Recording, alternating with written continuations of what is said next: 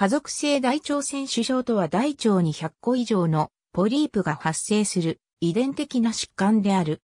家族性大腸ポリポーシス、家族性腺腫性ポリポーシスなどとも呼ばれる。常染色体優性遺伝の遺伝疾患である。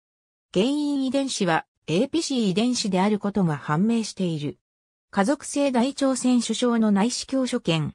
多数のポリープが見える。数百から数万個のポリープが発生する。ポリープが発生し始めるのは10歳前後であり、以降は時間の経過とともに数と大きさが増大する。このポリープから大腸がんが発生する。15歳前後から発生が見られ、40歳では50%、60歳ではほぼ100%の患者に大腸がんを発生する。患者の約6割ににポリープや腺腫が発生する。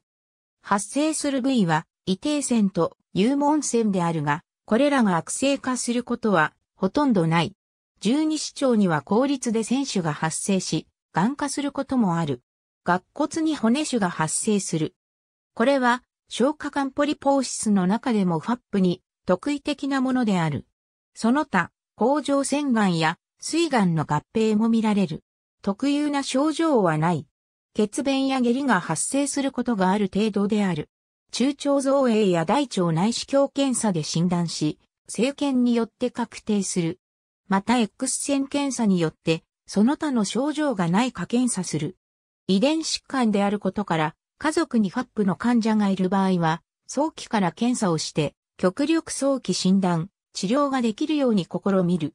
大腸がんが発生するのを予防するため、基本的に大腸粘膜を全摘する。